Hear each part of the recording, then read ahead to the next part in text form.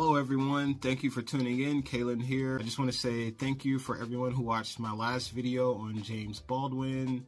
I think last time I checked, I got somewhere around 300 subscribers, more than 900 likes, and several well-written comments. I love the engagement, and I just want to say thank you for everyone who is participating and making this channel exceptional. Today's video essay is going to be on the world-renowned psychologist, clinical psychologist, Jordan Peterson.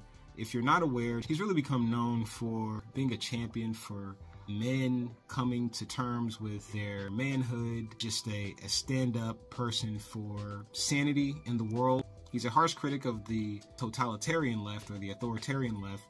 Um, he talks a lot about Nazis, World War II, and how if we're not careful, we will slip back into an archaic and dark period of humanity. He's been criticized for being far right wing and for being dismissive of trans rights, gay rights, women's rights, and I don't think it's as simple as saying he doesn't care about those things. I think we have to give space for conversation to really understand what it is that he's saying. In this video essay, I'm going to be giving my diagnosis, if you will, of his book 12 Rules for Life, which I read in its entirety and found to be very enlightening. I'm also going to give uh, my critiques of the book and why I think it needs to be more fleshed out in terms of speaking about indigenous cultures and the contributions that other members of the global society have made to mankind. You can find the basic version of this essay on my Substack and my Medium page. I did add in more content to flesh out this essay to give more perspective and nuance on the ideas that I'm going to be putting forth. Let's jump right into it. Jordan Peterson, sage or madman? This essay serves to shine a spotlight on the noted and now famed clinical psychologist Jordan Peterson. I discuss why I think his book 12 Rules for Life is an honorable piece of literature and how I find it to be usable for those seeking to improve their lives. I also discuss why I feel that Mr. Peterson is much more of a Western apologist than one might wish him to be considering the grave and destructive history of Western culture and its disastrous effects on the larger world. Jordan Peterson's book, 12 Rules for Life, made its way into my life three days after Christmas 2022. I took my time with this assiduous work because, well, you have to. In order to digest the wisdom, the insight, the distinctive candor responsible for the theater that is Jordan's imagination, to borrow one of his phrases, one has to walk slowly with him through the garden of his mind. I did this and can say for certain that I'm better for it. This review, if that's what you want to call it, is not going to be like others. By that, I mean I'm not going to do a step by step breakdown of each rule and what I think about them. Instead, I'm going to let my spirit speak. I want to say first that as Jordan Peterson began to make a name for himself as a stalwart of fresh thought within the public sphere a few years back, circa 2017, I was impressed first by his energy. When he spoke, he demanded that you listen. The diction, the vocabulary, and the knowledge he possessed culminated into a persona of sheer charismatic force, such that one could not casually take him in you know, not everybody is equipped to or interested in engaging in high level discussion of abstract and creative ideas. You know, you hear this idea that everyone's creative. That's a lie. It's as straightforward as that. True creativity is very, very rare.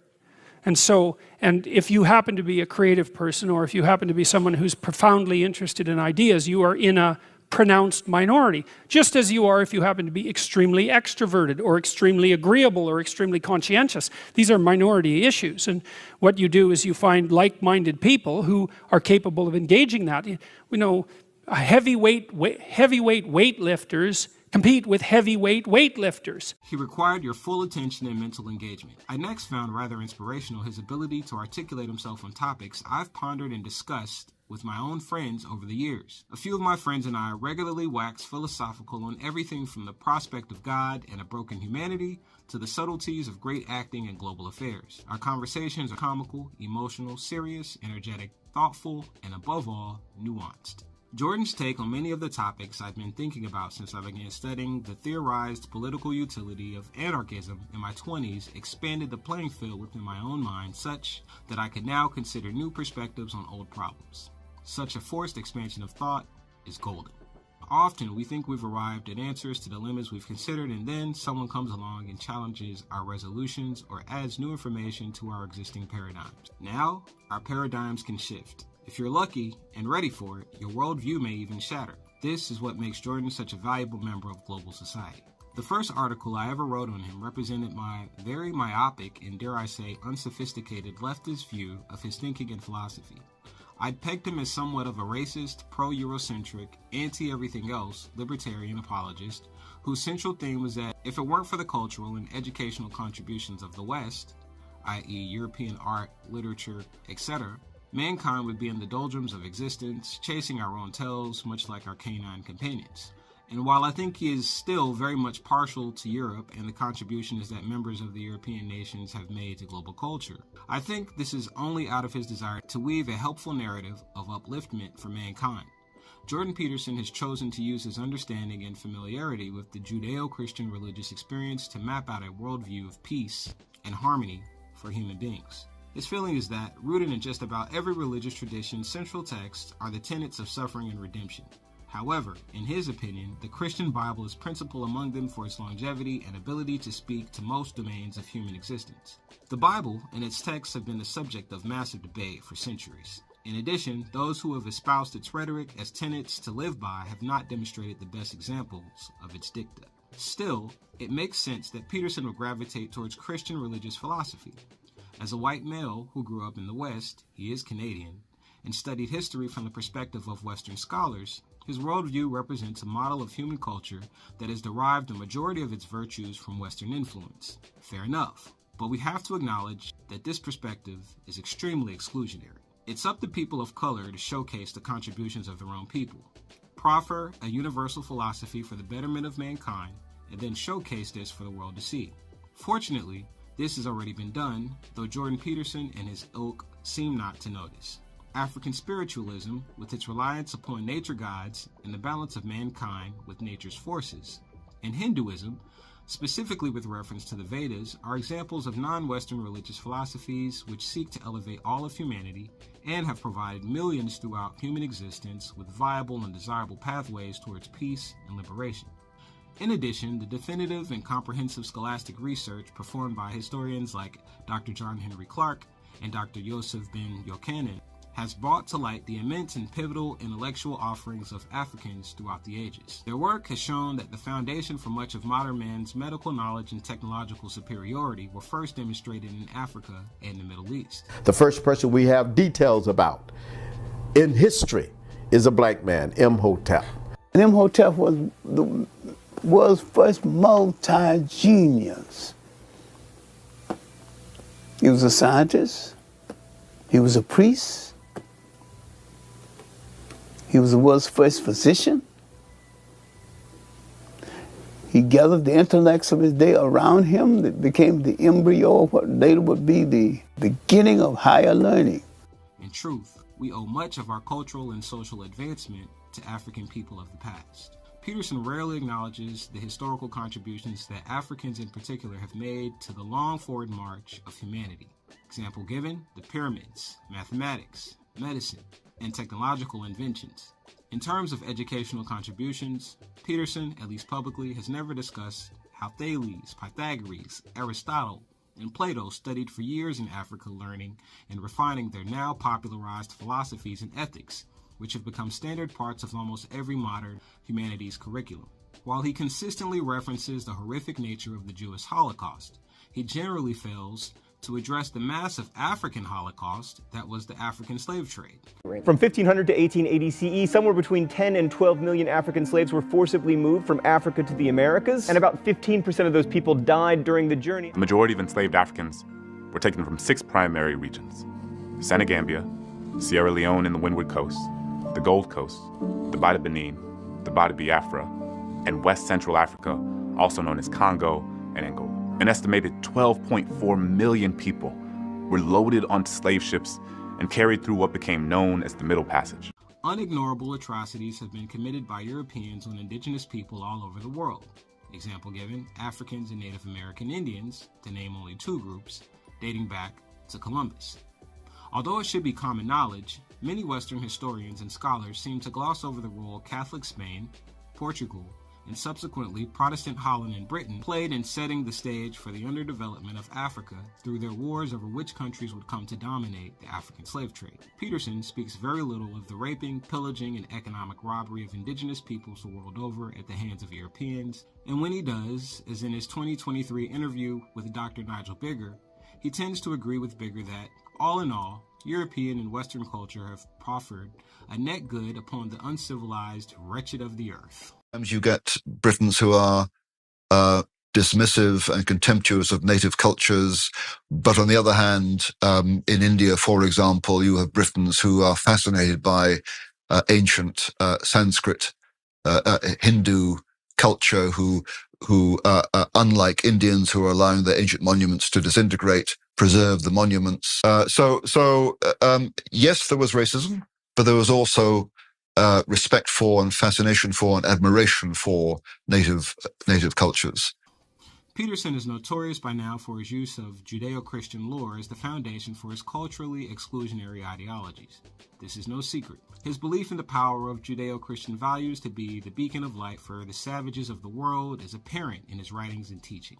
So naturally, for Peterson, Europe's horrific brutalization and economic pimping of much of the world must necessarily be excused because well, Europeans bought the barbarian cultures the miracle of Christian salvation. In an interview with American lawyer and conservative political commentator Ben Shapiro, Peterson even seems to assert that Africans in the U.S.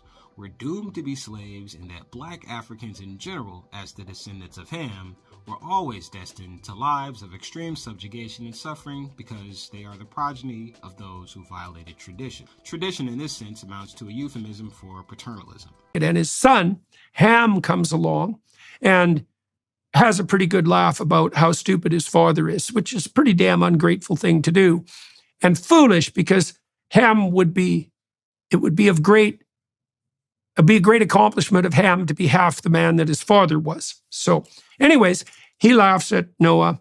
And then he gets his brothers and he says, you know, hey, the old man's, you know, drunk out of his mind. Why don't we go? And, and he's all sprawled out. Let's go over there and we can all join in a good laugh. And his other sons, Noah's other sons, take a blanket and they back into the tent and they cover Noah. Okay. And so they show him respect despite his flaws. Now, the way that story ends is that in tradition is that slaves are the descendants of Ham.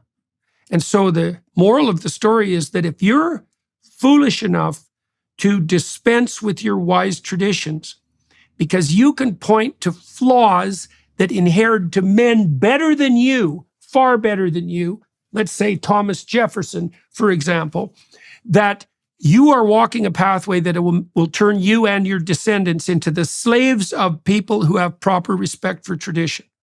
The sins of the fathers will be revisited on the progeny, Peterson seems to assert.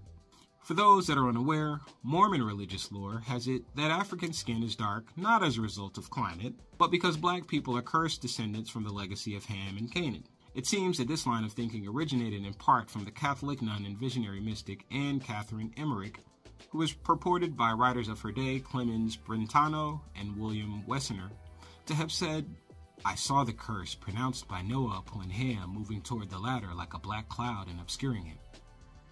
His skin lost its whiteness. He grew darker. His sin was the sin of sacrilege, the sin of one who would forcibly enter the Ark of the Covenant. I saw a most corrupt race descend from Ham and sink deeper and deeper in darkness. I see that the black, idolatrous, stupid nations are the descendants of Ham. Their color is due not to the rays of the sun, but to the dark source whence those degraded races sprang. So, where do these crazy ideas come from? Well, in the Bible, Ham supposedly made fun of and mocked Noah, his father, for an episode of drunken nakedness. According to some biblical scholars, Ham also either committed sodomy against his father while he was drunk, engaged in maternal incest with his mother, Noah's wife, while Noah was drunk, or violated the sanctity of a religious festival by wrongly attributing to his father shame due to his drunkenness. According to the Book of Jubilees, a set of extra biblical non canonical Jewish texts, Noah was not in the wrong for having wine since he was drinking in celebration of a religious tradition. There is no need to explain the flaws inherent in the previous ideas. In Dr. John Henry Clarke's book, Christopher Columbus and the African Holocaust, Slavery and the Rise of European Capitalism, the writer of the introduction references renowned African studies scholar and researcher Dr. Ben Jochannan's statement Religion is the deification of a people's culture.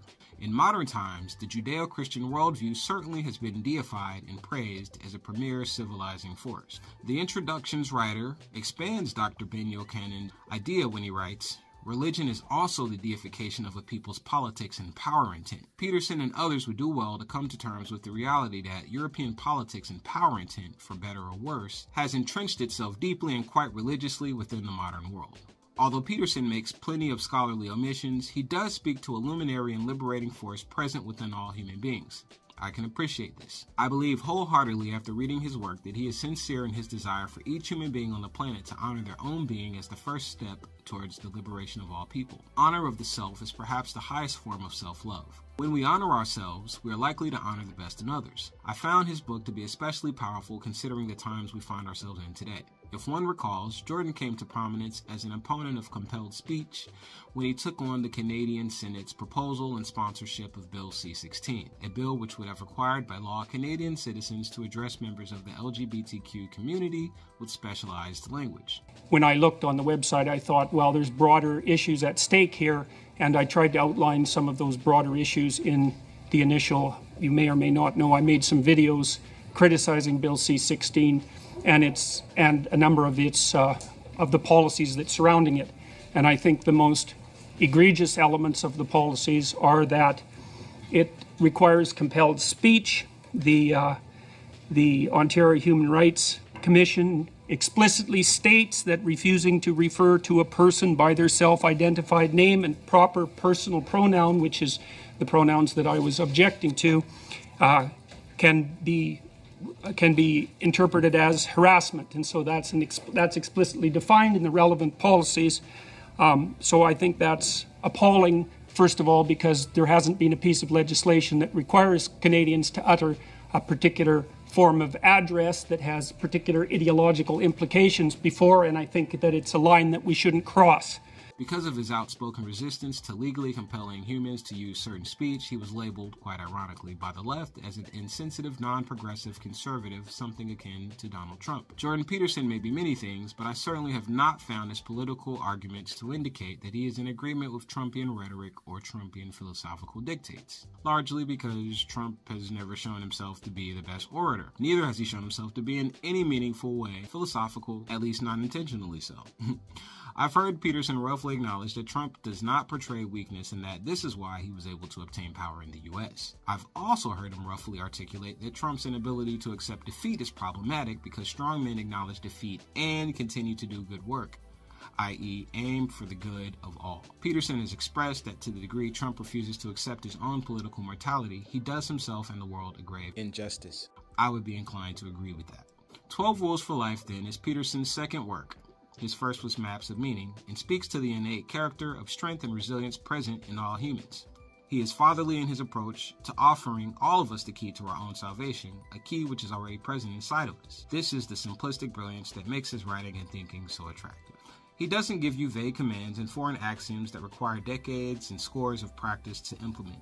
Instead, he gives you a distilled version of the truth, the essence of what we intuitively know will make our lives better. I foresee myself returning to this book many times in the future. In it are practical methods for building, maintaining, and repairing relationships, performing better at your chosen job or craft, raising children, and generally becoming an upstanding human being. For those unable or unwilling to invest in therapy and psychoanalysis under a trained psychologist, this book will serve you well. If only you'll take the time to read it and meditate on the principles and stories therein. I give it my highest regards. Jordan Peterson is a very interesting intellectual I love a lot of his philosophies and I think that he is uplifting in a lot of ways. However, I do find myself getting very annoyed with some of his ideas regarding human development, progress, and what it takes to elevate oneself to the next level. This is the age old debate between conservatism and liberalism, at least in the American sense. I find that his idea on IQ and race can be a bit problematic because the reason that, for instance, black people in this country have experienced so much of the turmoil that they've experienced has less to do with IQ than it does with the socioeconomic conditions that black people have been relegated to since the advent of slavery. And you can't just simply ignore redlining. You can't simply ignore Jim Crow. You can't simply ignore poor schools, poor funding. You can't ignore mass incarceration.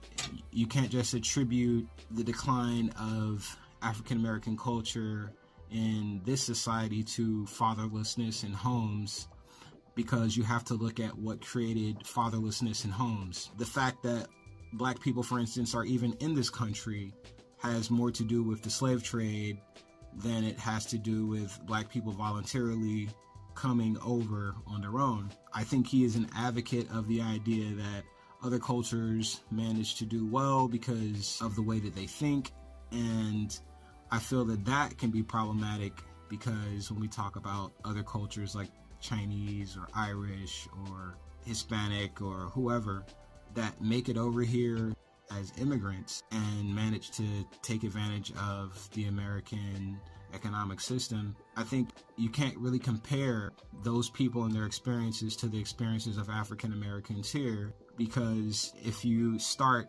as the analogy goes, way behind the start line, then you have to first catch up to get to the start line. And then you have to try to run a race with all the obstacles against you. And his idea is that people who start at a disadvantage have to work harder, and so they'll have more of a story when it comes to their success. But when you are simply trying to survive, you have to overcome all these obstacles and you're being criticized at the same time for being mentally inadequate and having a low IQ and not being able to keep up with your fellow men, that's not positive and it's not encouraging and uplifting and that doesn't create a support system, a foundation for upward mobility that people in those situations need. I would like to see Jordan Peterson be more understanding of the plight of African Americans and not simply look at the criminalization element and say that, oh, this is just who these people are. We have to look at, and this is why I take him to task on understanding the connection between African Americans here and African people in general from the African diaspora. You have to look at the history and the culture and the connection, the richness of ideas and the fact that Greek philosophers went to study in Africa shows you the tradition of brilliance, of genius. It's difficult for a lot of black people to trace their lineage back to Africa because of the slave trade, but I believe that there is some science that talks about, or some anthropology that talks about how Africans were trading and coming to the Americas long before the slave trade, long before Columbus the history that we know and that we discuss is it has to do with the transatlantic slave trade. If there's no connection to one's culture prior to the transatlantic slave trade, then of course there are going to be disconnects in understanding how black people and African people have contributed to the positive development of mankind. If the average kid in the inner city can't see their connection to greatness, their heritage. They may not know that thousands and thousands of years ago they come from a line of maybe pharaohs or a line of kings or a line of certain artisanal masters. Instead, they may present themselves as not being very intelligent, but it's only because, for instance, they may not know from whence they come. And that's very important, and we have to talk about how that can affect an entire generation. Anyway, thank you for listening. As always, you can check out this article, the basic version of it, on my Substack and on my Medium page. I will see you next time. Peace.